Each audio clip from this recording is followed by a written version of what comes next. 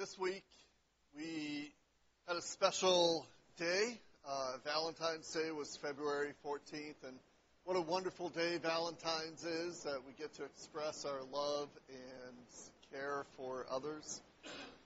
And uh, I don't really believe that.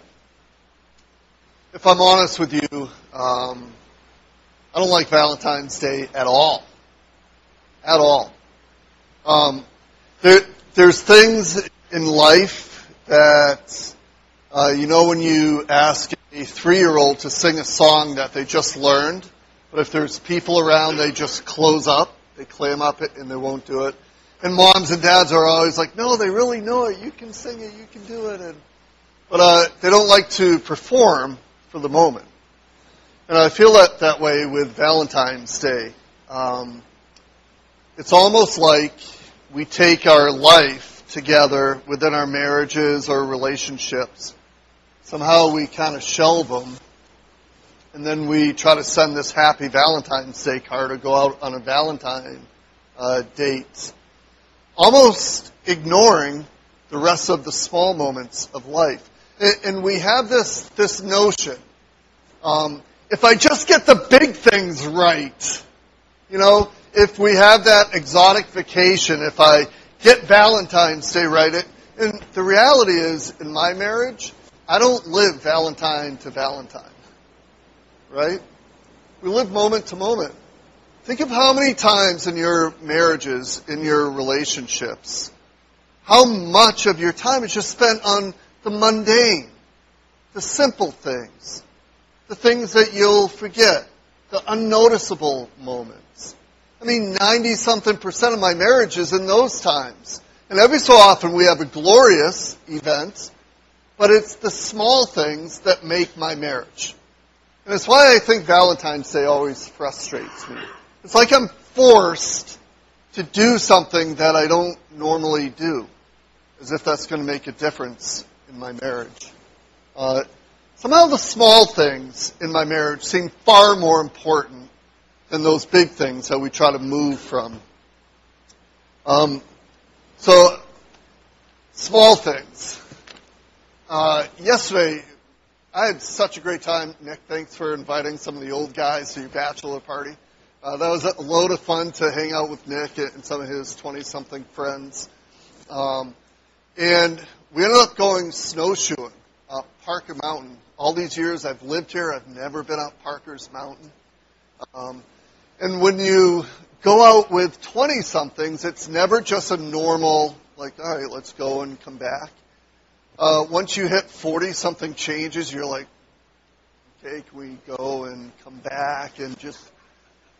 Well, these guys are all like, hey, I brought some sleds. Sleds? I thought we were snowshoeing. Yeah, it's for the way down. And so we said, uh, hey, well, in the back of my truck, I happen to have a bunch of sleds too, and so we all haul them up. And um, on the way down, just had, I think, the most fun I've had in a decade. Sliding down, screaming, laughing, kicking my asthma in from, from all of the laughter. And we finally get back to Turbo Camp, uh, where all the cars were. And uh, one of Nick's friends, um, he stays, his car is parked right next to my truck. He had driven up with me. And almost everyone leaves, and he's still there with the stuff next to his car. And I think I was texting uh, some of my family, so I wasn't in a, in a big rush. And finally, I look over, and his name was Joel. And um, he looked at me and I said, Joel, are you all set? No, I can't find my keys. And so I had this little conversation with Joel his apartment keys were on there. His car keys were on there. He's newly married. He got married seven weeks ago, I think. Um, his wife was out in Ohio visiting friends. And so his mind is turning. What do I do? So I stayed there with Joel. We looked all through my truck, kind of peeked in his windows. And of course, in the back of our minds, you can guess these keys are up in a foot and a half of snow from sledding down that silly mountain. But uh, neither of us wanted to, to say what we both knew. They're gone, right? And uh, I don't know how you're going to solve this, but you're old enough, you can solve it. But uh, out of my out of my mouth comes, if you want, I'll drive you back to Parker Mountain, Joel. And uh, he says, well, I mean, it's kind of useless, right? But I'm willing, and so we travel back up, and I had the moment, guys. Speaking of small things, is losing your keys a small thing in life? I mean, we can think it's not, but man, it is. Keys can be replaced. They're not a big deal. Feels big, but what a small little thing. So on the way back up to Parker, um, Joel is next to me, and I'm like, inside. You've been there, I'm sure. I'm like, I'm a pastor. I, I should be praying about this. Like, I, I'm wrestling with this. God, do, should I verbalize a prayer that's going? And finally, it's like, all right, whatever, here we go. Hey, Joel, sometimes Jesus even helps us find lost keys. And uh, Joel looks at me and he says something to the effect of, I know, but sometimes he doesn't.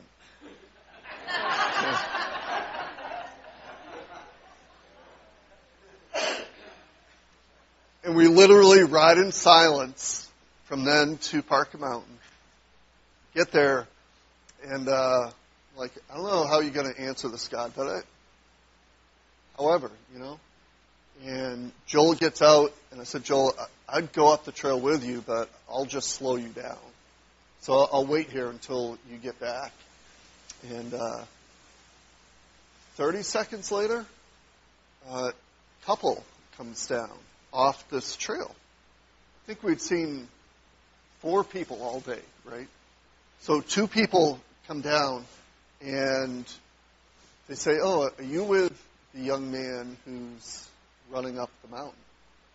Yeah, I am. Oh, because uh, we found his keys and we put them on. Um, there's a little sign thing. So he should be back in about two minutes. And I'm sitting in my truck astounded that this just happened. And uh, Joel gets back, sure enough, and there's a huge smile on his face. And uh, as we're riding back, I'm like, Joel, isn't it amazing to you that God cares about these little moments? The God who created, the God who holds the stars in his hand, the God who knows each of us by name and the number of hairs on our head. He cared that he lost his keys. That's amazing. And, uh, in our marriages, here's, it's just a truth. Your little moments in marriage, waking up, traveling somewhere, sharing breakfast together, sitting on a couch, coming to church, those little moments, I think, are where all the difference is made in marriage. It's not the big things, it's the small things through life. Um, and, and sometimes we ask ourselves, you know, why do we do the things we do in marriage? And the response typically in my mind is, well, Esther, my wife, kind of makes me feel certain ways and makes me do certain things. And for others, maybe if your marriage is in trouble, that, that's a altogether clear thing. My husband is this way and it makes me angry. It, it drives me to flirt. It, it's because my husband ignores me. It's because my, my wife is not this that I do these things. I hear it often. I experience it often. It, it kind of goes like this in other circumstances. I mean, what do you do in traffic when someone cuts you off and they don't gain any time? Uh, yeah, right? Steam. For some of us, if we don't have great self control, it may be some bodily motions that just happen in the car. And we think, man, that, that guy, he was so rude. I just responded.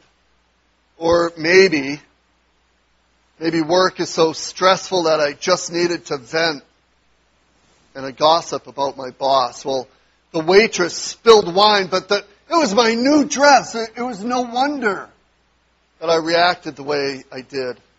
And here's a life changing truth I want to share with you this morning. I hope you can hear it. I hope you can believe it. Here it is.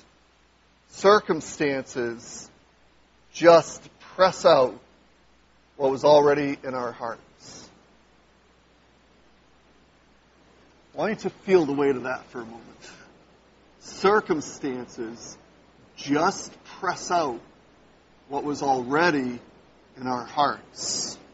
It's like they greased the skids to let these things out. I was sharing a, story with someone recently. Uh, the first time I was around someone who was drunk, uh, I was in high school, and I remember it well. Like these people were acting really strange, and I mean, I wasn't naive, but I'd never just been personally around that environment. And uh, someone said something that night that um, I blew off. Like, well, they're drunk, right? They didn't mean that. Until later, I learned no. Uh, drunkenness just loosens the lip to expose what's already in the heart. Circumstances, just like alcohol, simply grease the skids to reveal what's already in our heart. All right? That's our platform this morning. Nothing comes out of our mouths that wasn't already in our hearts.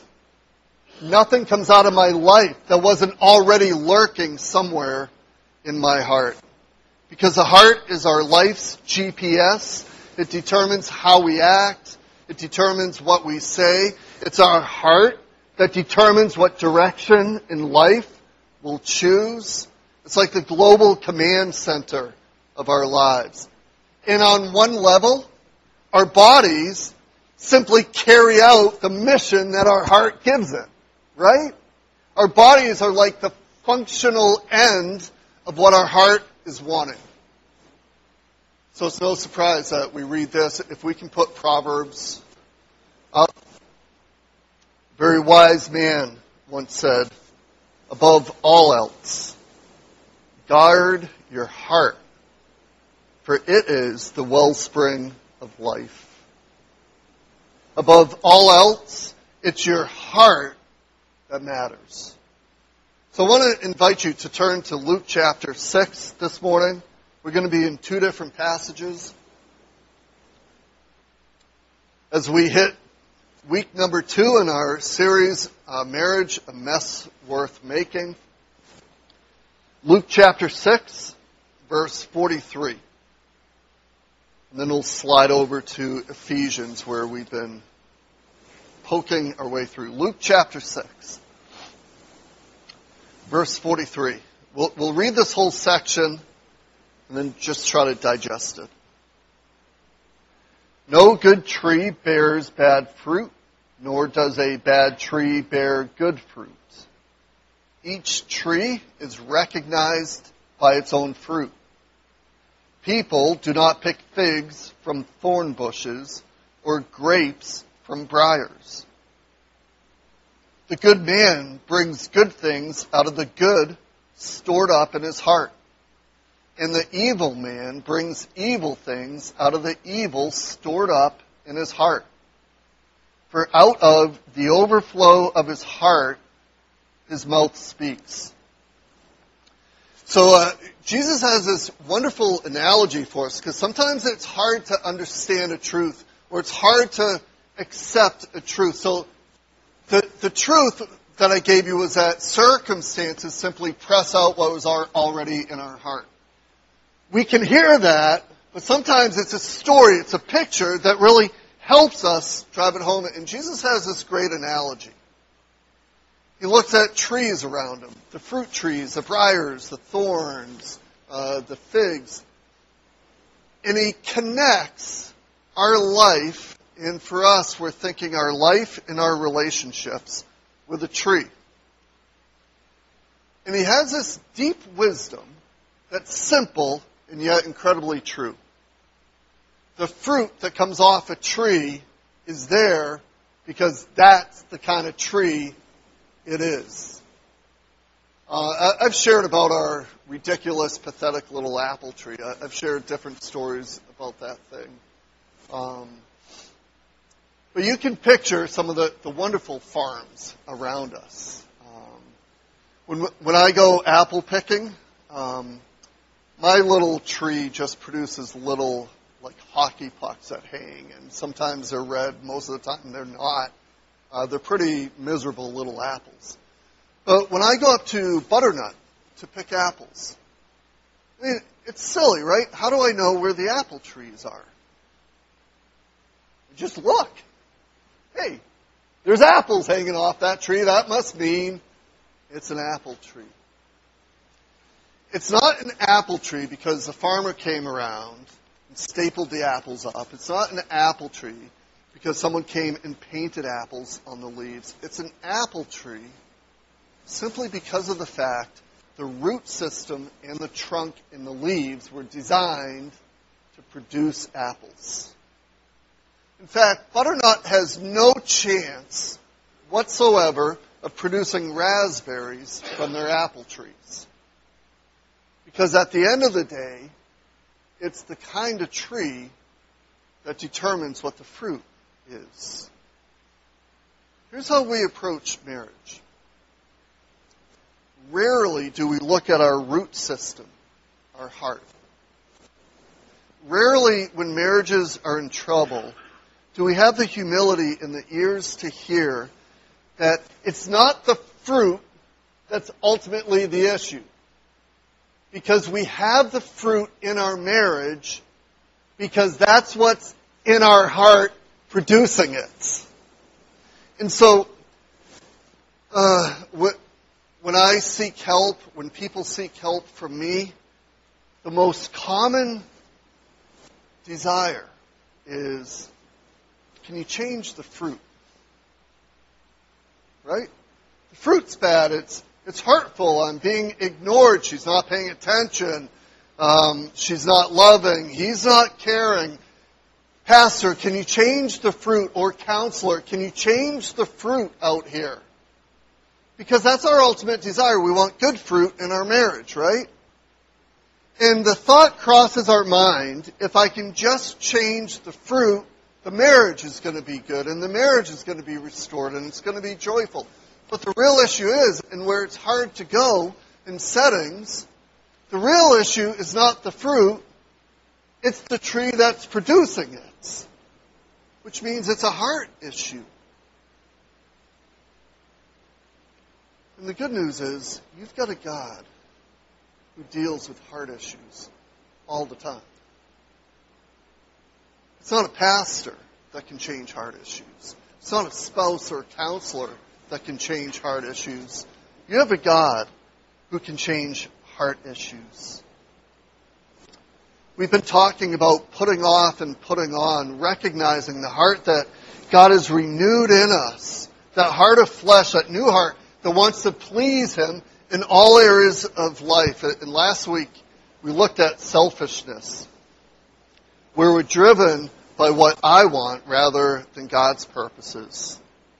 So with the fruit tree picture in the background, if you can turn to Ephesians chapter 4, Paul has some wonderfully life-giving advice for marriages, for relationships. Ephesians chapter 4, beginning in verse 25.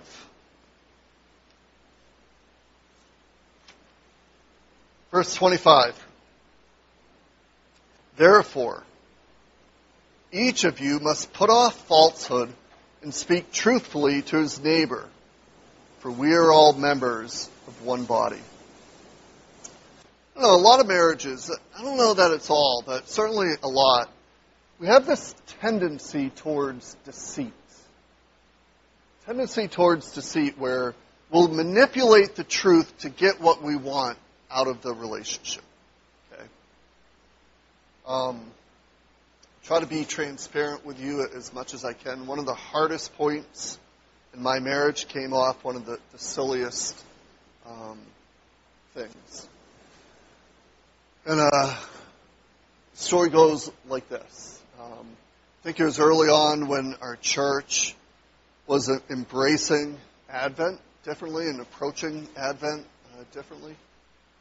And uh, I looked at that and said, yeah, I want to learn to wait. I, I want to learn this new rhythm of approaching Christmas and never fully verbalized that to my wife.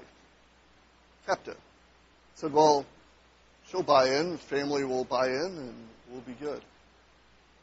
And then over a period of like two, three weeks, um, I kept hearing, uh, hey, our neighbor's going to go cut down a Christmas tree. Can we join them? To which I wouldn't answer. Hey, neighbor's going to cut down a Christmas tree. Can we join them? Hey, finally, literally, the day arrives. Hey, uh, they're all ready to go, honey. Can we go? Which I looked and said, um, no, I thought we were going to wait this year. That one moment in my marriage um, exploded into a very significant conversation that my wife and I had about my tendency to hold back and manipulate on the back end. And uh, I share that with you because what I did and what had been a pattern in my marriage was deception. That I wouldn't want to forthrightly tell her something. I wouldn't want to just clearly articulate something truthful about what I'm thinking or feeling, but rather to try to manipulate things and push things and in the background uh, make things happen without ever sharing. If you've ever hit a hard time in marriage, uh, you can duplicate that hard time, and we went through it over that silly event over Christmas tree. Because what got exposed in me was a tendency towards deceit. Is withholding information deceit? Right? It, ladies, is not describing the fullness of the credit card at Kohl's deceit. Guys, is holding back what we really think and feel in a moment to just wash it. Is it deceit? It is. It is. And I think a lot of marriages have this tendency towards manipulating the truth to get what we want out of the relationship. And so Paul says to put off falsehood. Stop adjusting how much we say. Stop trying to paint a different picture. The word for falsehood is a pseudos, which is, that's an interesting prefix, right? It's false. It's like a pseudonym is a different name. It's not really my name. It, it's a different one. Or pseudoscience is some sort of made up, uh, wacky science. and Paul says to put off this pretending, put off this pseudos, put off the falsehood, and in our relationships, embrace truth, reality. Why? I love the end of this verse. For we are all members of one body. In a marriage, your spouse is not your enemy. Your spouse is not an enemy. Your spouse is not placed there to be opposed to you. When we start embracing our own view of marriages, it can be so true that our view is, well, my spouse is my enemy. They're always opposed to me. They're always standing in opposition to me. And we lose the basic view that God has given us that no, your spouse is united to you in one flesh. Your spouse is your partner. Your spouse is your God-given complement. Spouse is there because God has chosen to put them there. And when we start to view our spouse as our enemy, man, we start to deceive and hold and manipulate. But when we start seeing, no, we're part of the same body. No, my spouse, even if it's difficult, God has given them to me to complete the picture of Jesus in the church. And all of a sudden, I'm open to speaking truth in love.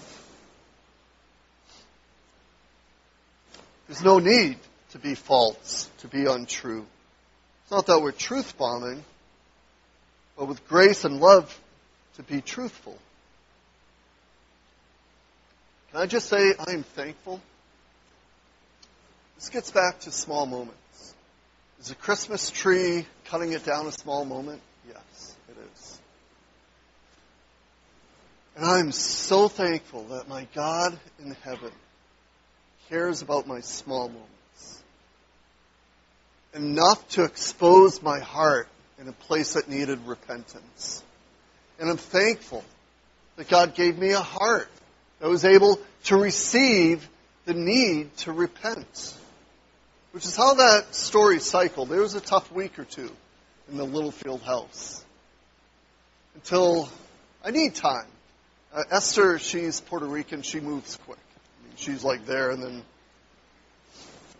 uh, but she also moves quick uh, to resolution too, and uh, she leaves this lingering husband like, wait, I'm, I'm, I'm still hurting here. I, I, am not. This took me a, a long time, um, but I'm thankful that in the little moments God pressed something out of my heart that was able to be repented of and restored and healed.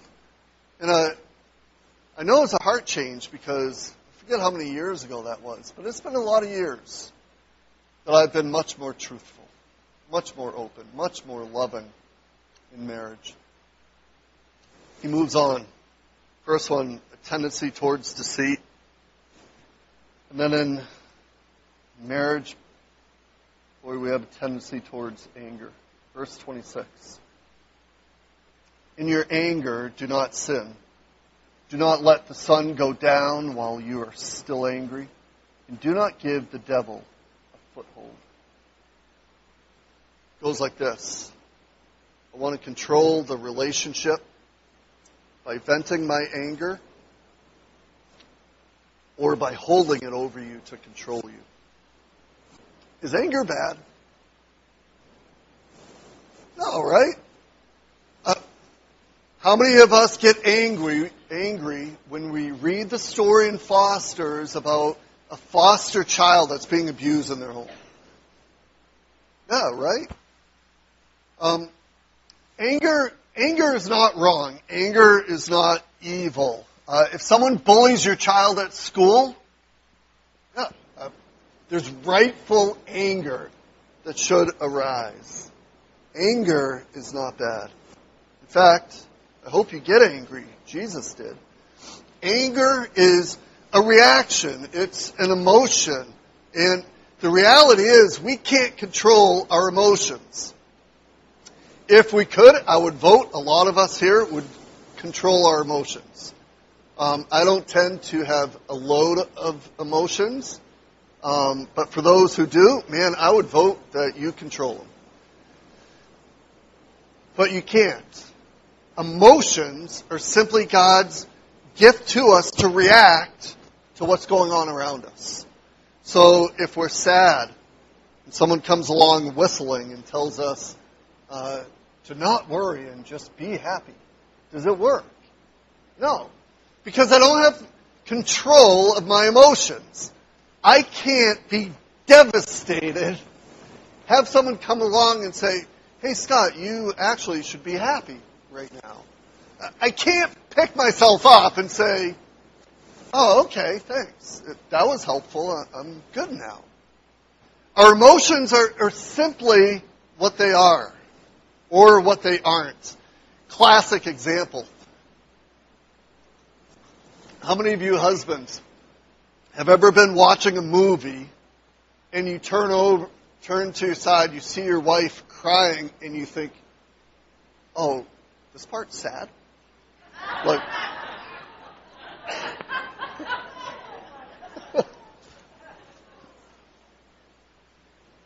and I try to like, get, oh, come on, you can do it. Push it. Yes. We, we simply can't control our emotions. They're the reactions that we have to the environment around us. And so here's, here's the danger that Paul is getting to. The danger in marriages is not the emotions, but what will come from the emotions. So one of the fruit of the Spirit that God gives is self-control. It's mentioned like 19 times. And every time it's mentioned, it's literally like this uh, e-brake that's going to spin your vehicle around. Self-control can take emotions and what we want to do from those emotions, and it's self-control that throws that e-brake up and says, but I will not make my decision off of that. Every time self-control is used, it's dealing with limiting the choices we make from our emotions. It's kind of like your wife's elbow or that look across the dinner table. And Paul puts it out here, specifically anger.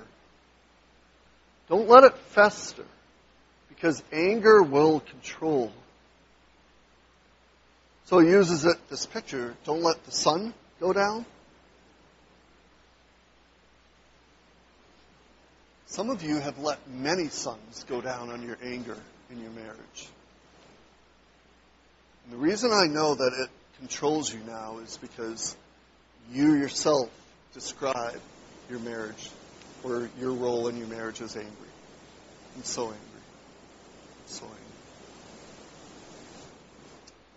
After two suns, three suns, 30 suns, five years of suns go down, it no longer becomes an emotion.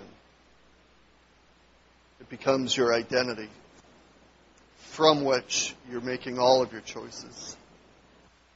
So you can't help but blame your spouse. You can't help but look out and say it's someone else's fault. You can't help but live your life out of this place of being angry. So Paul says, settle it quickly, release it. Because if you don't, devil gets a foothold. We don't use it. We're Congregationalists. I mean, we don't use this phrase. Maybe uh, Pentecostal churches would. Uh, we see the verse here, the devil will get a foothold. We don't really use the phrase, the devil made me do it. Like, it's just not part of our verbiage. But we have the thought somewhere. You know what the devil getting a foothold simply means?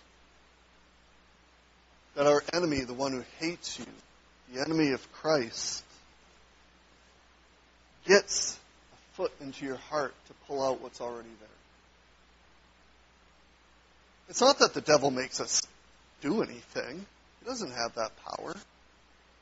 But I think specifically in anger, guys, if anger is not resolved, we open up to let our enemy, to let the devil pull out the things that we're trying to hide in our hearts. And I'll just tell you, every single time, that is devastating, painful, and brutal. Don't let the sun go down on your anger. Don't let it become who you are. Verse 28, our last one. Tendency towards selfishness. He who has been stealing must steal no longer, but must work, doing something useful with his own hands, that he may have something to share with those in need tendency towards selfishness, which in marriage goes something like this I want to protect what I have rather than offer it to serve you.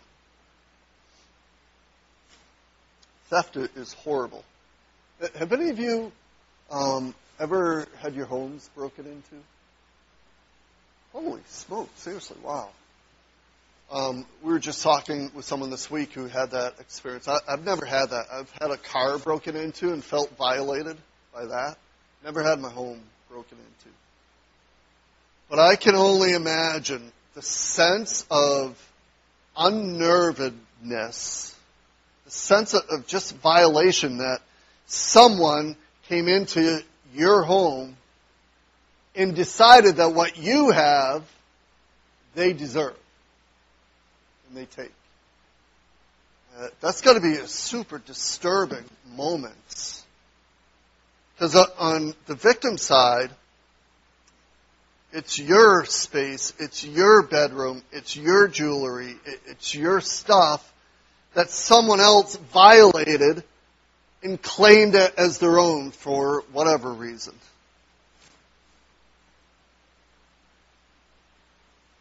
They said they had a right to it when they didn't.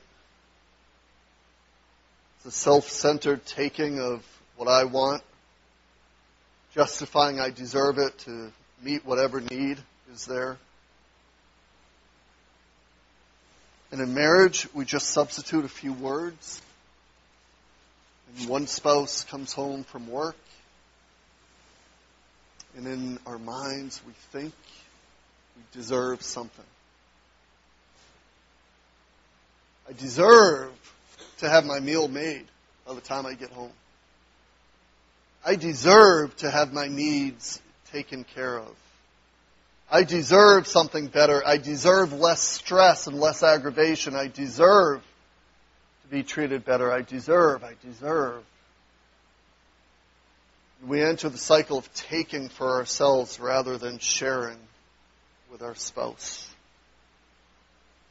One of the hardest things for man, I imagine for a woman too, one of the hardest things for a man to come home after a hard day of work, tired, exhausted, and give more. Because we have that inner sense of, I just laid it out, I'm the one that earns the money, she's the one that fill in the blank, I've got my role, she's got hers. I come home from a hard day, and now I deserve a respite.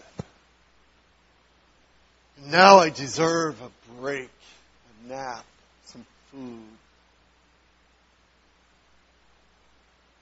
I just want to say, you might deserve it. You might have worked really hard.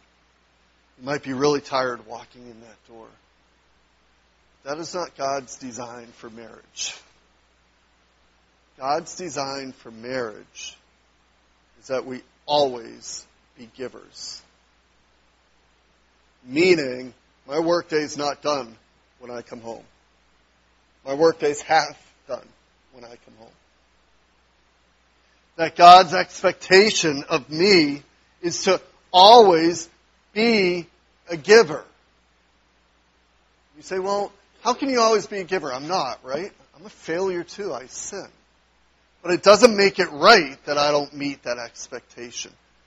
God always wants a husband or a wife to be a giver. And that can be tedious, right? And so we hope. We hope that in that giving, at some point we receive. And that's a good hope. That's how marriage should work. I give and I give and I give, but man, glory to God, I receive, I receive, I receive. And that's called marriage in a difficult marriage, it's the receiving part that gets cut off, and therefore I cut off my giving part, and now there's a chasm sitting in there between husband and wife. Where I want to demand something and take something, but so does she. And eventually we get into dire trouble. Here's the paradox of marriage.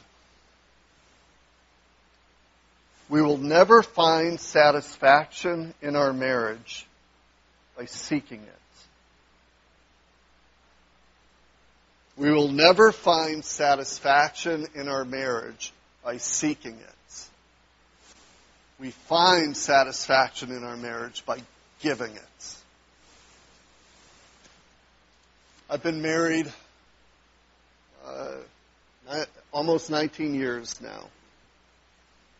Uh, loads of you have more marriage years than I do. Some of you have fewer.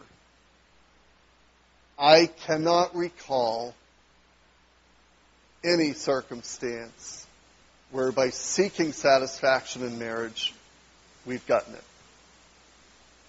I can tell loads of testimonies that by seeking to give satisfaction, we've received it fully. It's a paradox. You can't aim for the thing you want to aim for. What do you do? You see God's view of marriage. And you give. And you submit to God's way.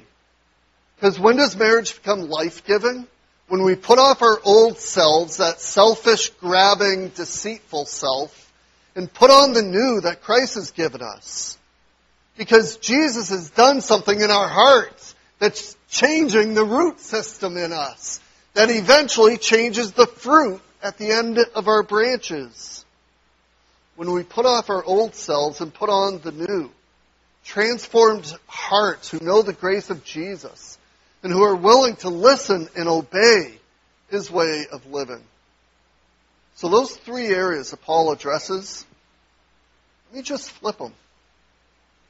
There's incredible life-changing power truthfulness and love in your marriage. There's incredible healing benefit of gentleness, patience, and love rather than acting out of anger. And many of us have experienced the joy of serving the needs of someone else rather than taking that position of trying to get and claim for ourselves. Is how much God loves us. He has given you, if you are married, He has given you the best opportunity He could ever design to practice for kingdom life. Isn't that a great gift? That God has given us the most intimate of relationships for a man and a woman to come together in marriage to be one flesh. So that I get to practice the way I'm called to live for all of eternity. I love the, the fact that God gives us that. Because He cares about all of your small moments. Those little moments that come each and every day in soccer. Um, you all know the, the phrase, practice makes perfect. Uh, we flip that. I'm sure it's not original with us, but our coaches teach a different message. Practice doesn't make perfect. Remember what it is? Practice makes permanent. That's the verbiage we give to our kids. And as we embrace Jesus' way of living together, as we embrace that new self, searching for new roots, trusting God to do something in our hearts, here's the good news. There is a permanent life for us out there.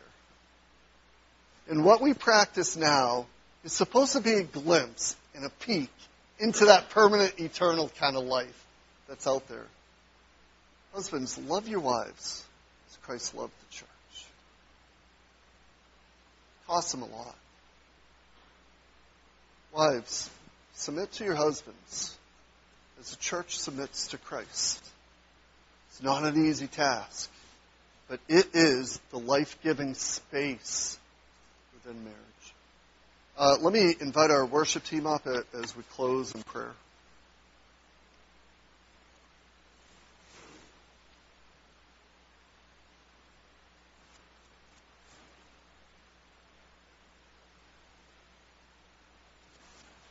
God, I thank you for the ways that you interact with us. Thank you right now as your church is before your throne that you bend an ear and you listen to our prayers. God, I thank you that you're sovereign king and you're also savior friend. You are altogether amazing. And God, I pray in the marriages in this room, in the marriages yet to be from this room. But God, I pray that your name would be honored, that a picture of your grace and your love would erupt. God, may you by your Spirit, tear down our stubbornness. May you help us to look towards the others as better than ourselves. Lord, the pain and the hurt that some of us have, God, may you give us courage to forgive and release and to embrace our new way, our new heart within our marriages. God, help us not to act out of our anger, seek our own reward or selfish gains, but rather to please you in all the things that we do. Lord, thank you for the great God that you are. In Jesus' name.